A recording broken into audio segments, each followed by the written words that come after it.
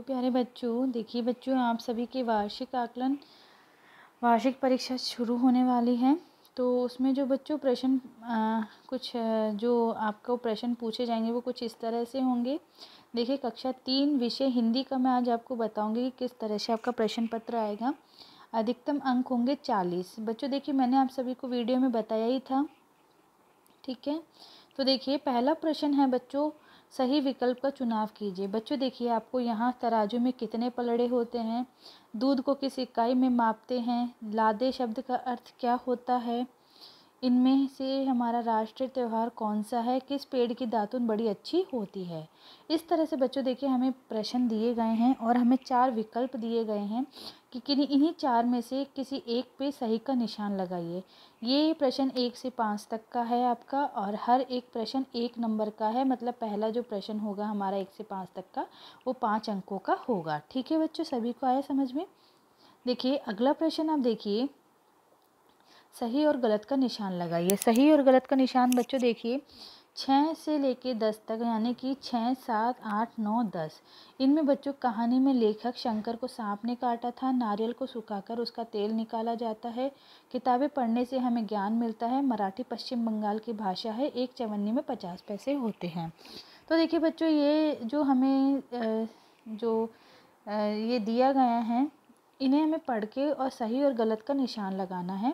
ये भी आपके एक एक नंबर के प्रश्न हैं, ये भी पाँच अंक के हो गए, ठीक है? अगला प्रश्न दिया गया निम्नलिखित प्रश्नों के उत्तर दीजिए।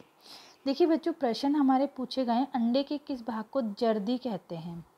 मौसम मुख्यतः कितने प्रकार के होते हैं? मीरा बहन भारत आकर किसके साथ काम करने लगी?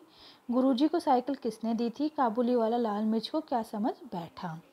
देखिए बच्चों, ये पाँच प्रश्न हैं आपके हर एक प्रश्न आपका तीन अंकों का होगा। पाँच प्रश्न है, तीन को पाँच से हमने देखा तो ये हो गए हमारे पंद्रह। तो बच्चों, पंद्रह अंक के ये आपके पाँच क्वेश्चन हैं।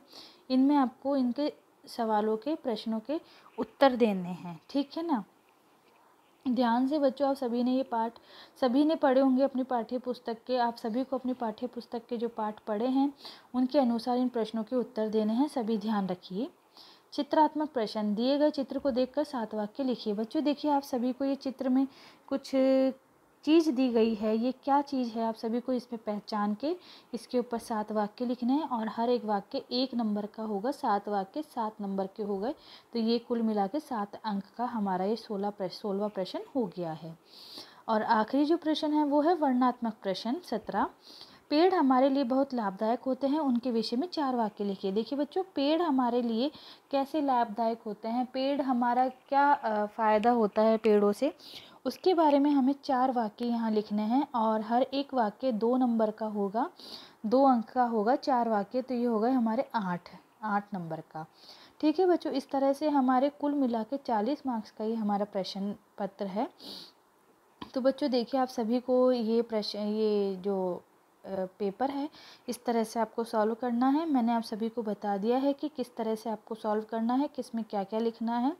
आप ज़रूर मेरी वीडियो को देखिए, समझिए और अपने क्वेश्चंस को सॉल्व कीजिए। उम्मीद करती हूँ आप सभी को समझ में आया होगा अच्छे से। Thank you and best of luck बच्चों।